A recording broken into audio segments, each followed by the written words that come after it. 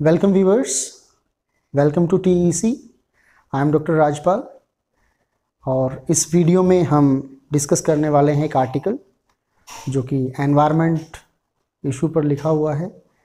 This article is from the Hindu dated first September the title of this article is the environment is a national issue with a subtitle to view environment protection through an ideological or political lens will only spell its doom so political lens is the first word combination or ideological or political lens that you can write down this is my humble suggestion that whenever you watch this uh, these videos आप जब भी ये videos देखें तो अपने पास में pen and paper रखें पर्टिकुलरली एक स्पेसिफिक नोटबुक रखें, जिसमें आप आर्टिकल्स के टाइटल और उसमें जो आइडियाज़ डिस्कस किए गए हैं, जो वर्ड कॉम्बिनेशंस डिस्कस किए गए हैं और जो वर्ड्स डिस्कस किए गए हैं, उन सभी को आप लिखें।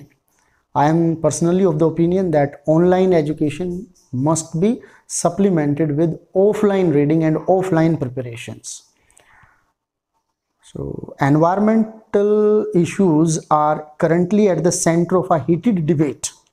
The first word combination is heated debate. We know the meaning of heated. It's a very simple word. And uh, debate, we also know the meaning of the word debate. But pay focus on this combination of heated debate. The adjective heated uh, makes it very beautiful and precisely captures that what kind of debate it is so this is I mean by close reading. Even the Congress President Sonia Gandhi felt impelled. Impelled means when an idea or feeling impels you to do something, you feel uh, as if you are forced to do it. So that is the sense of uh, doing something out of some sort of forced uh, thing and that is compulsion. So you, uh, Sonia Gandhi felt compelled to write on the issue. The Hindu editorial page Stop the dismantling of environmental rules. August 13th. And uh, as a former environment minister in the United Progressive Alliance UPA dispensation, the writer has been the former environment minister in UPA, in UPA rule. So this is the beauty of reading the newspaper that uh, uh, through this exercise we get to know the ideas of the people who have been in those affairs uh, very deeply. The experience of a former environment minister is certainly an enriching experience for all of us and that we are trying to get to know from the reading of the article. And even I am trying to simplify it a further ahead. I feel that environmental issues should be above political dissonance Dissonance is a term that is to uh, describe the disharmony. Dissonance uh, is the opposite of assonance and these are poetic devices. So some sort of political disagreement or political disharmony that is being conveyed through the use of word political dissonance. And to this end, attempt to highlight critical facts which need to be flagged for public knowledge public knowledge and public opinion. These are also two words. Public knowledge or public opinion. There is also a word public eye. Everything is in is in public eye. To politically weaponize environment. See the word w e a p o n weapon we know the word. Weaponize. And then politically. So this politically weaponize to politically weaponize environmental issues is unproductive and unacceptable. This is the methodology this is the approach this is the close reading approach that will pay you a lot if you practice it. See the uses of the word unproductive and unacceptable. How india fares. So in this uh, particular paragraph i'm just uh, su uh, summarizing it that today we are at 177th rank out of the 180 countries in uh, environment performance index EPI and this EPI data has been prepared this report has been prepared by two American universities. One is US universities basically Yale and Columbia in collaboration with Economic Forum and European Commission.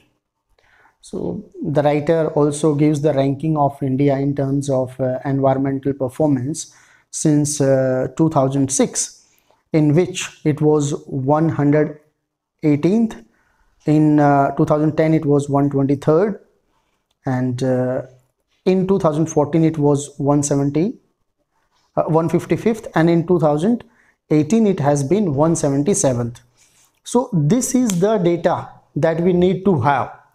While writing an essay or saying something on environmental uh, environmental degradation or any issue pertaining to environment. If we have some sort of data that consolidates our argument that consolidates our opinion. So whatever line of argument you take while writing something on any particular issue if you have the data then that authenticates your uh, idea that authenticates your opinion or your argument so if you keep reading on environmental issues maybe suppose today you take this idea that we are at 177th rank out of 100 uh, 180 countries so that is to show that how poor we are in our performance pertaining to environmental issues. Environmental performance index में हम 180 देशों में से 177वें number पे हैं so this is very alarming. And uh, the statistics are self-explanatory. See the word self-explanatory.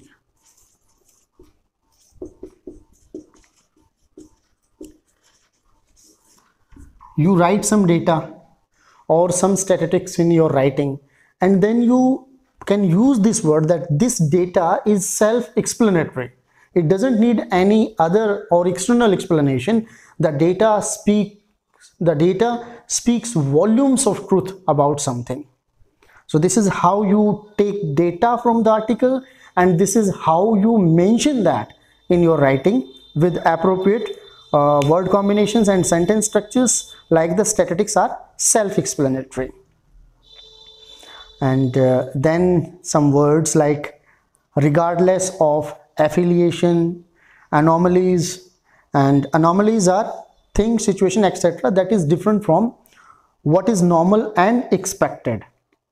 A n o m a l y. That is anomaly. And uh, the issue of st stubble burning is also pointed out in this article. And uh, another word combinations are erred grievously.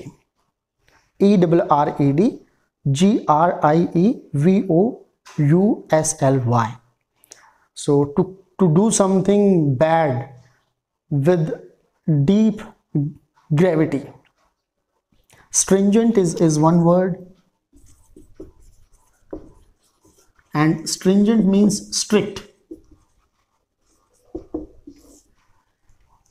Thematically the writer i just try to sum it up by pointing to certain word combinations and the theme the theme is that we need to have some sort of national awareness the responsibility the collective responsibility of all of us to take to the environmental issues we have to be the custodians of environmental uh, preservation पर्यावरण के संरक्षण के लिए हमें सभी को अपनी जो निजी भूमिका है, वो निभानी होगी। उसके प्रति एक संवेदना की ज़रूरत है, उस पर एक अवेयरनेस की ज़रूरत है और and the writer feels that politicising this issue और to politically weaponise the issue would be for the disadvantage of environment and that disadvantage for environment would be directly a disadvantage for the entire humanity वो हम सभी के लिए नुकसान दे ही रहेगा। So stringent steps. The word is stringent and then uh, stringent steps. Strict steps. You can also think of remedial steps. The steps which are taken in order to give a remedy to something some problem some illness some some sort of evil. So the issue of stubble burning is also pointed out and then the need for a kind of taming of deforestation. And another point that is very significant that we need to strike a balance. To strike a balance. That we need to strike a balance between growth and environmental preservation. Because the more uh, the more we become rich the less we become sensitive towards environmental issues. And uh, to conclude it, the balance of imperatives between the environment and poverty eradication and the critical need to harmonize the working of the central state and local governments as also intelligence monitoring and compliance with law are vital dimensions of environmental preservation there need to be some sort of harmony between the state and the uh, state governments, state and center governments. And then there, uh, there is also a need to be uh,